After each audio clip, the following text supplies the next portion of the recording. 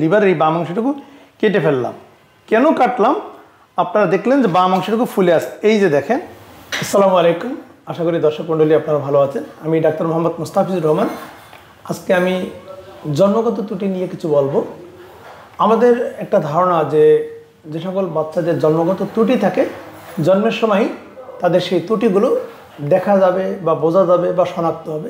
এবং বেশিরভাগ ক্ষেত্রেই তেমনই হয়। যেমন অনেক বাচ্চারই হাতে বা পায়ের যে আঙ্গুলের সংখ্যা থাকে, তার থেকে কম বা বেশি নিয়ে জন্মগ্রহণ করে, যেটা খুব স্বাভাবিকভাবেই দেখেই বোঝা যায়। আবার অনেক বাচ্চারই মলদারটা সঠিক জায়গায় না থাকে, একটু আশেপাশে দিয়ে তৈরি হয়। আবার অনেক সময় তৈরিই হয় না। আবার মূত্র, নালীর যে চিত্রটা সঠিক জায়গায় না হয়, একটু ভিন্ন জায়গায় হয়, অনেক সময় নাভিটা বের হয়ে আসে, অথবা অনেক সময় হাড় নিয়ে দেখা যায়। কিন্তু কিছু কিছু জন্মগত ত্রুটি জন্মের সময় থাকলেও জন্মের সময় দেখা যায় না। পরবর্তী সময় যেমন মিডল এজে অথবা বৃদ্ধ বয়সে শনাক্ত হয়। তেমনই একটি জন্মগত ত্রুটি হচ্ছে পিত্তনালীর জন্মগত ত্রুটি, যেটাকে বলা হয় কোলেরোকাল সিস্ট সাধারণত পিত্তনালীর যে জন্মগত ত্রুটি থাকে, আশি শতাংশ ক্ষেত্রে বয়স দশ বছরের মধ্যে শনাক্ত হয়। কিন্তু বাকি যে বিশ শতাংশ, সেগুলো সাধারণত মিডল এইজ অথবা বৃদ্ধ বয়সে শনাক্ত হয়। যখন পিত্তনালীর জন্মগত ত্রুটি থাকে, বাচ্চাদের সাধারণত পেটের ডান ভাগে ব্যথা থাকে, অনেক সময় চাকা হাতে ফিল হয় এবং ব্যথা, চাকা এবং পাশাপাশি অনেক সময় জন্ডিস বা জ্বরও থাকতে পারে। কিন্তু বিশ শতাংশ ক্ষেত্রে যেটা বললাম মিডল এজ অথবা বৃদ্ধ বয়সে শনাক্ত হয়, ঠিক তেমনইভাবে আজকে যে রোগীর অপারেশন করলাম, রোগীর বয়স চল্লিশ বছর, ওনার পিত্তনালীর জন্মগত ত্রুটি আছে, যেটা এই সাত থেকে আট দিন আগে শনাক্ত হয়েছে। পিত্তনালীর জন্মগত ত্রুটিকে কোলোটোকাল সিস্ট বলা হয়। পিত্তনালী, আপনারা জানেন যে দুটি অংশ, একটি লিভারের মধ্যে থাকে, একটি লিভারের বাহিরে থাকে। সাধারণত লিভারের বাহিরের যে পিত্তনালীর জন্মগত ত্রুটি, এটি সাধারণত জন্মের পরপরই শনাক্ত হয়।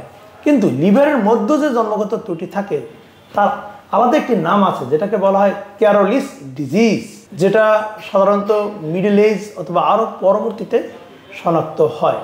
বিশেষ করে যখন শনাক্ত হয়, তখন শুধুমাত্র এই কোলেটোকাল সিস্ট বা ক্যারোলিস ডিজিজের মধ্যে সীমাবদ্ধ থাকে না। আরও কিছু জটিলতা নিয়ে সাধারণত চিকিৎসকদের কাছে শরণাপন্ন হয়।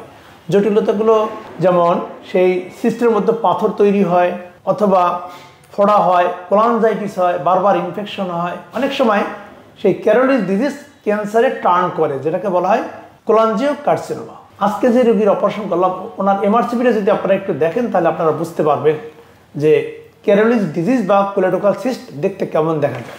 দর্শক মণ্ডলী, আপনাদেরকে বলছিলাম যে পিত্তনালীর দুটি অংশ। একটি অংশে লিভারের মধ্যে থাকে আর একটি লিভারের বাইরে থাকে। আপনারা যদি এই যে এমআরসিপি এমআরসিপি দিয়ে সাধারণত লিভারের ভিতরে যে পিত্তনালী, লিভারের বাইরে পিত্তনালী এবং প্যানক্রিয়াস বা প্যানক্রিয়াসের নালীগুলোকে খুব সুন্দরভাবে দেখা যায় এবং এই নালীর ভিতরে যদি কোনো রোগ থাকে, যেমন পাথর সিস্ট টিউমার ক্যান্সার খুব সহজেই শনাক্ত হয়। তাহলে আপনারা একটু দেখেন যে এই যে আমার আঙ্গুল থেকে যেটা দেখাচ্ছে, এখান থেকে শুরু করে এই পর্যন্ত, এই যে সাদা অংশটা দেখছেন, এটা হচ্ছে লিভারের বাহিরের পিত্ত নালী। আর এই যেটা দ্যাট মিনস আমার আঙ্গুলের উপরে যে নালী দুটো দেখছেন, এটি হচ্ছে লিভারের ভিতরের পিত্তনালী একটু খেয়াল করলে দেখা যায় যে এটি হচ্ছে লিভারের শেপ দেখেন, এই যে ডান সাইডের যে পিত্তনালীটা অর্থাৎ লিভারের ডান দিকের পিত্তনালীটা স্বাভাবিক একটা পিত্তনালী, বেশ চিকন, হয়তোবা টু মিলিমিটার হবে বাট বাম দিকের পিত্তনালীটা দেখেন অনেক স্ফীত হয়ে আছে। যেটা বলছিলাম কোলেটোকাল সিস্ট বা পিত্তনালীর জন্মগত ত্রুটি, সেটা হচ্ছে একটি সিস্টিক ডিজিজ অর্থাৎ পিত্তনালীর কোনো একটা অংশ বেলুনের মতো ফুলে যায় অথবা টিউবুলার স্ট্রাকচার হয়।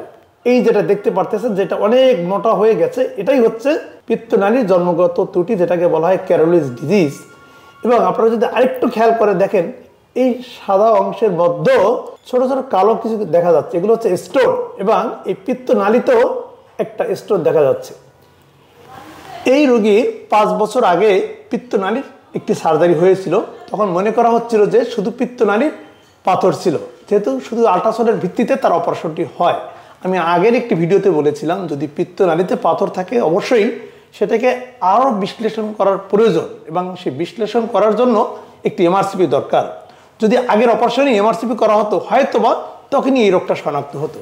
তাহলে আমরা দেখলাম যে লিভারের ভিতরের পিত্তনালীটা স্ফীত হয়ে আছে এবং তার ভিতরে স্টোন আছে।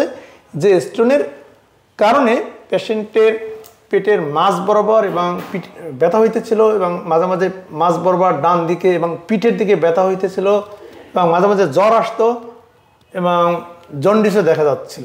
আরও কিছু সমস্যা ছিল যে তার ক্ষুধামন্দা দেখা দিয়েছিল।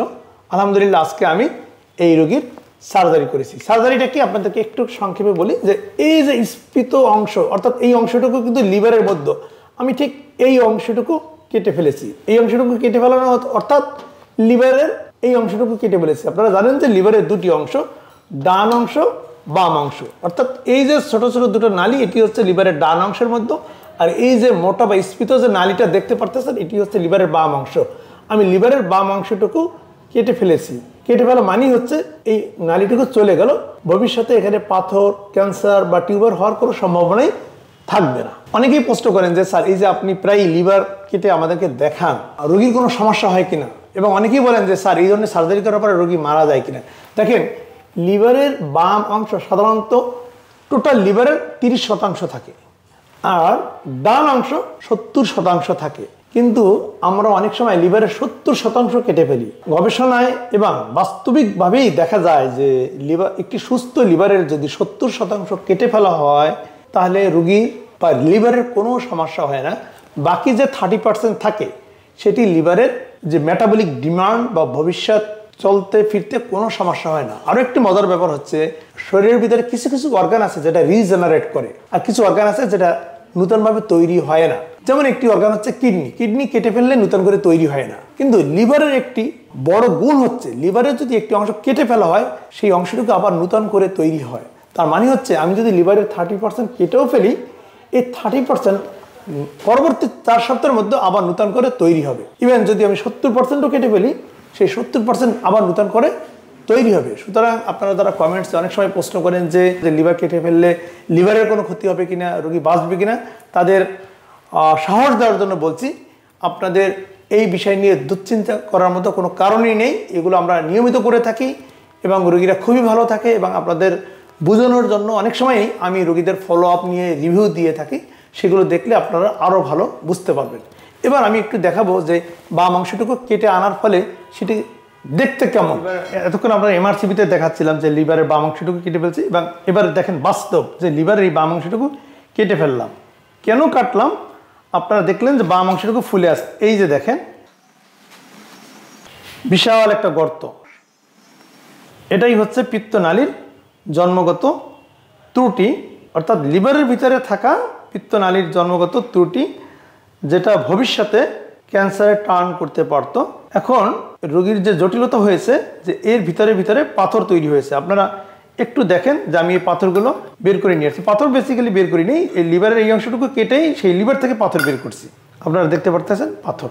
আলহামদুলিল্লাহ, এই সার্জারি করার পরে সাধারণত আমরা সাত দিন পরে রোগীকে ছুটি দেই। রোগী বেশ ভালো থাকে, কোনো জটিলতা বাদেই সাধারণত রোগীদের ছুটি হয়। আপনাদের পরিচিত জনদের মধ্যে যদি কারও এ ধরনের লিভারের সমস্যা থাকে, অথবা যদি পেটের মাঝ বরাবর বা ডান দিকে ব্যথা থাকে ইভেন যদি আলট্রাসোনেতে পিত্তথলি, পিত্তনালী অথবা লিভারের পাথর অথবা কোনো সিস্ট অথবা টিউমার শনাক্ত হয়, আমি মনে করি আপনারা একজন বিশেষজ্ঞ চিকিৎসকের শরণাপন্ন হবেন। তারা যে পরামর্শ দিবেন, সেই পরামর্শ মোতাবেক আপনারা চিকিৎসা নেবেন। সর্বশেষ যে মেসেজ যে জন্মগত ত্রুটি মানি জন্মের সময় শনাক্ত হবে, তা নিশ্চিত নয়। অনেক জন্মগত ত্রুটি পরবর্তী বয়সে শনাক্ত হতে পারে। ভালো থাকুন, আল্লাহ হাফেজ।